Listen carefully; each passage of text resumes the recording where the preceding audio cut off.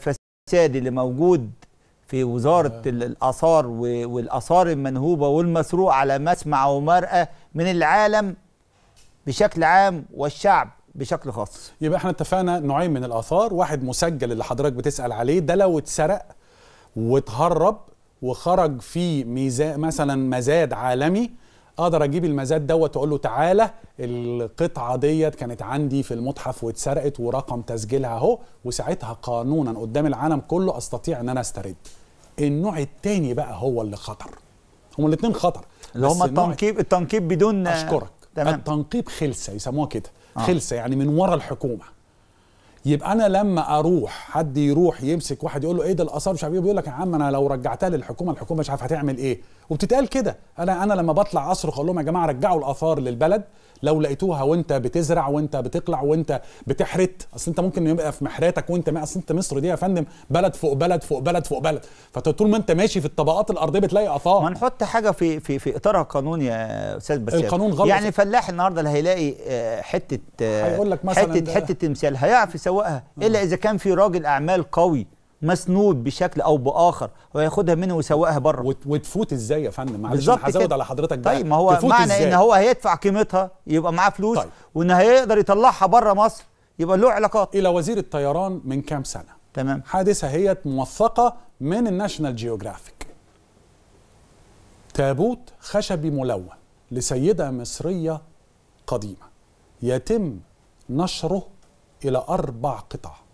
ويتم بعثه للولايات المتحدة الأمريكية اير ميل أي بريد جوي.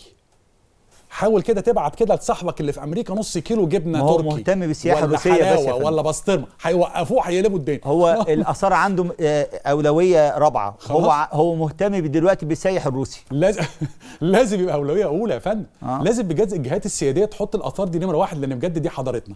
راح التابوت الأربع قطع إلى الولايات المتحدة الأمريكية. وتم تجميعه وطلع تحفة. يبقى لما طلع تحفة وأنا شفت الصورة بتاعته وهو في أمريكا يعني في في الجانب الآخر علماء على مستوى مصريات على مستوى راقي يعرفوا يركبوا التابوت ده عشان يرجع زي شاكلته القديمة. ويتم القبض عليهم من المباحث الفيدرالية ويتم إرجاعه إلى مصر. شكرا للمباحث معنى الفيدرالية. إيه؟ إن النائب العام يشكل لجنة ل... ل... ل... هي حلوة. للبحث موضوع ال- الآثار هي حلوة يا فندم. هي بيقول لوزارة الآثار ابعتوا لجنة علشان شكلها حلو. هي حلوة بس اتأخرت. اتأخرت. يعني وزارة الداخلية الخارجية مثلا عرفت عن الموضوع في مارس. السؤال بقى اللي ايسمالا رات اللي قلتها لحضرتك. إنت ليه يا إيطاليا ما قلتلناش هنا بقى سؤال معلش. برضه لايطاليا من ساعة لما مسكتوا السفينة ده واحد. عايز تتأكد إذا كانت دي آثار أو مستنسخات؟ لا بس في بيقولوا إن هم تم إختار وزارة الخارجية و... و... و... وتم الاتفاق بعدم النشر آه، إلا. لحين آه، وقت دي- ما يعني دي أنا ما عنديش يعرفوا دي أنا ما عنديش وثيقة بيها. لكن لو هي وصلت في في مارس برضه ستيل إحنا لسه باقي فكرة الاستغراب. اولا ليه المصري ما عرفش عنها؟ وليه هي نزلت؟ أنت عارف حضرتك إحنا عرفنا عنها إزاي؟ وأنا راجل هو بقالي 30 سنة بقول آثار وبقول تاريخ هنا وفي الخارج كنا إحنا عرفنا عنها من أخبار على الفيسبوك. يا خبر أبيض! 118 قطعة مصرية يتقبض عليها في إيطاليا وبعديها بكام شهر أعرف عنها من خبر نزل في موقع إيطالي. أنا هقول لحضرتك آه، يعني خارج هذا الإطار العاصمة الإدارية. نعم. العاصمة الإدارية. فيها أكبر كنيسة وأكبر جامع ما فيهاش متحف. أنا الحقيقة عرضت المقترح ده من كام يوم كده على حد كده لطيف ربنا يبارك لهم. قلت لهم عندكم متحف؟ أول ما سألته. قلت له عندكم متحف؟ قال لا في في أنا كنت. حاضر الواقع يعني. فقلت له عايزين متحف هناك. وأنا أشكرك إن حضرتك ذكرتنا بالموضوع ده. وأنا ما زلت بعرض على الحكومة أو الناس المسؤولين الماسكين العاصمة الاداريه الجديده إحنا ممكن ننقي اعمل لكم لستة من 150 ل 200 قطعة. تمام. ممكن كمان يتعمل لها الشرح الآثاري. وأيضا لو تتذكر حضرتك الواقعة إحنا عرضنا أيضا فكرة عندي متطوعين ربنا يبارك لهم يعملوا لغة بريل أو برايل زي ما إحنا بنسميها هنا تمام. وهي كتابة المكفوفين أو متحدي الإعاقة البصرية. وأيضا لغة الإشارة تتحط في فيديوهات للصم والبكم. يعني حضرتك بتطالب بإقامة. متحف عالمي في العاصمة الإدارية. نعم يا فندم. وأنا بعتقد إن مع مع هذا الزخم في آه، فكرة الآثار. خد بال حضرتك سرقة الآثار والكلام اللي إحنا بنعمله دلوقتي ده ده أنا هوري حضرتك صور دلوقتي لو تقدر لو تقدروا تبدأوا تنزلوها.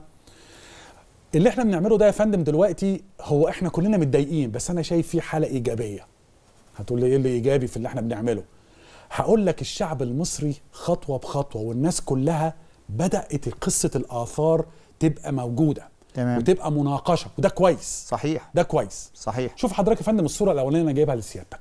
تمام. هتلاقي عجب العجاب إن بيع الآثار المصرية جهارا نهارا ولا العالم مديك أي اعتبار. إحنا معانا صور. هتقول لي وزارة الآثار شغالة؟ هقول لك وزارة الآثار شغالة وعندك قسم هقول لحضرتك حالا دلوقتي القطعه دي إيه آه. لكن لازم أقول إن عندك قسم وزارة الآثار زي ما بننقد لازم نقول فيه حاجة. تمام. عندهم قسم اسمه إدارة الآثار المستردة. ماسكها حد اسمه الدكتور الأستاذ شعبان عبد الجواد. تمام. الإدارة دي يا فندم شغالة وبتسترجع. الموضوع كبير بقى لازم كلنا كمصريين نشترك فيه. بص يا فندم لو تعرف سيادة المخرج يحط لي الصورة دي full screen يعني على الشاشة كلها. تمام. علشان أنا هوري حضرتك دلوقتي حاجة أغرب من الخيال. تمام. أنا ببلغ ممكن آه، أستاذ أحمد نقدر نحط ال- ال- الصورة على على الشاشة بالكامل اللي فاتت؟ بلاغ للنائب العام يا اتفضل، فندم. اتفضل. الصورة اللي جاية دي بلاغ للنائب العام. بما إن دخلنا في موضوع إحنا الحلقة دي قدمنا بلاغات للنائب العام أنا للركب. لو هو هيتصل أنا إحنا معانا دلوقتي يا هي. على أنا يا الهواء. سيادة النائب العام أنا نمرتي في ال- في الاستوديو مع الأستاذ علوان. لو عايزني أجي لك بكرة الصبح في المكتب ومعايا ده. إيه بقى ده؟ ده واحد يا فندم اسمه جابريال فاندر فورت أقول هذا على مسؤوليتي الشخصية. أنا بسام رضوان الشماع مرشد سياحي وعضو اتحاد الكتاب وعضو الجمعية التاريخية. كل اللي هقوله من هنا ورايح يا فندم مسؤوليتي الشخصية عندي دلائله. هذا الرجل جابريال فاندر فورت في كاليفورنيا في الولايات المتحدة الأمريكية يبيع آثارنا جهارا نهارا. ويصل به الحال أن يبيع قطعة من تل العمارنة بتاعت اخناتون ونفرت إيتي. ولما أنا أقول تل العمارنة أقول لك لو شعرة من تل العمارنة زي الفسطاط كده لو لقيت شعرة من الفسطاط تحطها في متحف لوحديها ليه؟ الفسطاط حرقت عن آخرها معروف. فلو طلع منها أثر ده حاجة هامة جدا. نفس. الحكاية في تل العمارنة اتكسرت. فلو طلعت حتة قد كده من تل العمارنة دي بتبقى حاجة تهز العالم. يبيعها ب 199 دولار. 199 دولار. يعني تاخد عيلتك واولادك وتأكلهم حبة سندوتش برجر ولا مش عارف مين في أمريكا. جهارا نهارا يا فندم هو حاطط اسمه وحاطط عنوانه وأنا معايا نمرة تليفون هو حاطط نمرة تليفون والموبايل بتاعه. تعال نشوف الصورة اللي بعديها. لكن هذا الجابريال فاندر فورت يعيش حياته في منتهى الحرية في الولايات المتحدة الأمريكية. خد بقى الأقوى يا فندم. يقول لك جابريال فاندر فورت هي ال- الموقع اللي بيبيع عليه اسمه ancient للناس اللي عايزة تشوف ancient resources وأنا بنزله تملي عندي وبفضحه كده. تمام. يسلم لك الآثار إذا اشتريتها. home delivery تمام. home delivery الصور- الصور هتيجي يا تباعا. هتيجي. تباعا. تباعا. اتفضل. الكارثة الثانية. اسورة من الذهب. بص الجمال. بص جمال حضرتك. على اليمين والشمال ثعباني الكبرى المشهورين في مصر القديمة. عين وادجت في النص. العين المصرية اسمها وادجت خد بال حضرتك انت بتتكلم هنا عن تركواز أي فيروز. الله. وعن كمان هذا الحجر الأزرق لابس لازولي الازواق وعندك كمان كورال كمان ستون الأبيض. ذهب وأحجار كريمة بيعت ب 2070 دولار يا مواطن. 2070 دولار يا مواطن. والنبي ما تحصرنا. والنبي الشعب مش ناقص مش ناقص يتنك ما أنا عايز لازم نفوق لازم والنبي نفتح- الشعب الشعب مش عاوز يتقهر أكتر من قهره بتاعت نفتح. محمد صلاح. لا محمد صلاح ربنا يشفيه ويرجع إن شاء الله كأس العالم. هقول لحضرتك وهبقى أقول لك حاجة على محمد صلاح لأن أنا نزلت حاجة على الموضوع ده. اتفضل. شوفوا دراع راموس. آه ما أنا جبتها. يا شفت حضرتك آه ال- آه ال- جبت النجمه جبت النجمة السداسية. آه آه تمام. والنجمة السداسية دي بالمناسبة وحدة فنية إسلامية. هعمل لك حلقة هجيب لك فيها وحدات صلاح الدين الأيوبي حاطط النجمة السداسيه دي حاجات دي واحدة س- دي وحده وحده فنية لا هي بتاعتهم ولا حاجة دي حاجة. شوف يا فندم دي اتباعت في 2000 أشكرك. في واحدة بقى مبينة قد إيه وهو حاطط التاتو بتاع آه. النجمة بتاعه ال- اللي حاطينها هم على علامهم البائس آه ده ده ده آه. تعمد وتعمد تعمد وإصرار. ان ان يعني أصل ده ده مش مواطن عادي ده آه. ده ثروة قومية و-. وسبب سعادة شعب 100 مليون لما لما هو اتدرب على الحركة دي ادي أدي أشكرك. النجمة ال- أشكرك. أدي النجمة موجودة أشكرك أشكرك ادي النجمة حتى أنا اليهودية حطيت لهم كده قلت لهم بصوا الصورة دي مؤامرة أو أو, لي أو ليست ده مؤامرة مؤامرة أنا في اعتقادي إنها مؤامرة. خلاص؟ آه. بص يا فندم بقى حط دي كده وحط يا فندم الحاجة اللي إحنا كنا لسه شايفينها دلوقتي دي. نرجع الصور تاني يا أستاذ أحمد لو سمحت. إحنا قلنا اتباعت بكام يا فندم؟ ب 2070 دولار. اللي هو حضرتك تروح تشتري بدلة من أمريكا خد خد بالك يا مصري أبوس دماغكم من فوق. لما أتكلم بالدولار أوعك تضربها في 18 لا الدولار هناك زي دولار. الجنيه بتاعك. دولار. مش كده يا فندم؟ دولار. العيش انت بتشتريه هنا بكام نشوف. الصور؟ الصورة اللي بعد كده بعد تمام يا اذنك فندم دي اتباعت فين يا فندم ب 2070 دولار دي اتباعت في مزاد في المدينة المدعوة البائسة تل أبيب أنا بقول لحضرتك أنا مسؤول عن كل حرف أنا بقوله ومدى لدي إحنا عندنا تل. الإثباتات.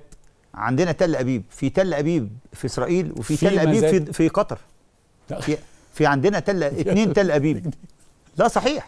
إحنا عندنا انت ما تقصد أنهي تل ابيب أنا قصدي أقول في قطر ولا في إسرائيل؟ اللي محتلة الفلسطينيين دول. آه اللي هي أنت قصدك اللي هي. المحتلة. بالظبط. آه. وبالمناسبة طب ما هي برضو قطر محتلة من تركيا و- وإيران. وبالمناسبة أنت فكرتني بقى. آه اتفضل. حضرتك عمال تدوس على زراير أصلا لا ما هو ماله لا لا كويس حلوة دي زراير ما حلوة. هو ما هو بص، فلسطين- بقت التاجر التاجر الأول أيوة. التاجر الأول الآثار هي قطر أنا عايز بقى يا في فندم العالم. أنا عايز بقى المسؤولين عندنا يطلعوا يكشفوا يعني إحنا بنحاول أهو كمواطنين. أنا مواطن أنا لا بشتغل في وزارة الآثار ولا حاجة. لكن أنا هقول لحضرتك حاجة. النهارده يا فندم لما أنا أروح القدس الم... ال- الشريف أو القدس المبارك في 2013 وأخش من غير حرف عبراني على الباسبور بتاعي. الحمد لله بطريقة قانونية لكن مفيش حرف اتختم على باسبوري. تمام. أنا ضد التطبيع. ويأخذني فلسطيني عظيم بالتاكسي بتاعه. قلت له عايز أروح متاحف في القدس. يوجد متحف اسمه متحف إسرائيل. دخلت هذا المتحف يا فندم. كل آثار مصرية. مملكة. المنهوبه كلها من سينا مملكة يا فندم. مملكة من آثارنا المصرية. والصهيونية بتقول لي قبل ما أسألها هي هي قدمت الإجابة. our American friends وأنا أقول لو أنا لحضرتك هسألها مين اللي ادالك الآثار دي؟ هيتعمل معرض في في في قطر. أكبر من من من, متحف اللوفر هيبقى فيه كل الآثار المصريه